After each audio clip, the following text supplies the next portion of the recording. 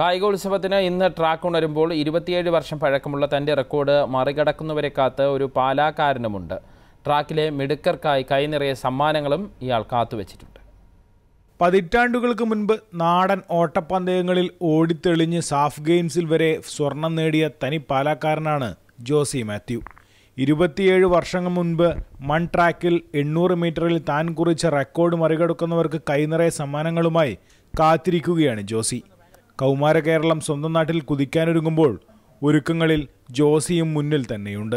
ഇവിടുത്തെ സീനിയറിൽ senior ആൺകുട്ടികളിലും പെൺകുട്ടികളിലും first വരുന്നവർക്ക് അയ്യായിരത്തൊന്ന് രൂപ വെച്ച് ഞാനിവിടെ ഓൺ ദി സ്പോട്ടിൽ അവർക്ക് ഇത് കൊടുക്കുക പ്രോത്സാഹനം. അതുമല്ല അവർക്ക് സാമ്പത്തികമായിട്ടും അവർക്ക് ടെക്നിക്കലായിട്ടും ചെയ്യുകയാണെങ്കിൽ അവരുടെ മുമ്പോട്ടുള്ള എല്ലാ കാര്യവും ഞാൻ ഏറ്റെടുക്കാമെന്ന് ഞാൻ പറയുക. ചെന്നൈ വിമാനത്താവളത്തിൽ കസ്റ്റംസ് സൂപ്രണ്ടായി ജോലി ചെയ്യുകയാണ് ജോസി മാത്യു. തന്നെ മറികടക്കാൻ എത്തുന്നവരോട് ജോസിക്ക് പറയാൻ ഒരു വാക്ക് മാത്രം.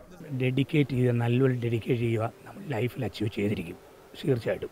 ഹാർഡ് വർക്ക് ഹാർഡ് വർക്ക് ചെയ്താൽ നമുക്ക് ലൈഫിൽ ഉന്ന ലെവലിൽ എത്തിച്ചേരും. ഞാൻ പ്രത്യേക ഒരു ഉദാഹരണമാണ് ചുമ്മാ നടന്നു വരുത്തനാ ഈ ലെവലിലെത്തി ഏഹ് ഒൺലി ബിക്കോസ് ഓഫ് സ്പോർട്സ് കായികോത്സവ വേദിയിൽ നിന്നും ടീം ഏഷ്യാനെറ്റ് ന്യൂസ്.